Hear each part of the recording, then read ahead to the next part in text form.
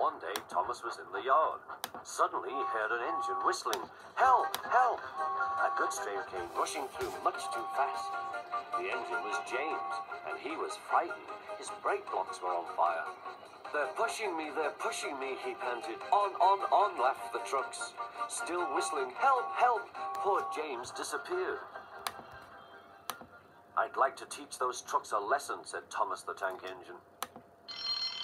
Soon came the alarm. James is off the line. The breakdown train, quickly! Thomas was coupled on, and off they went.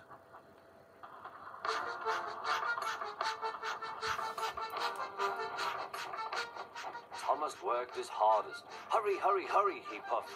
He wasn't pretending to be like Gordon. He really meant it. Bother those trucks and their tricks. I hope poor James isn't hurt.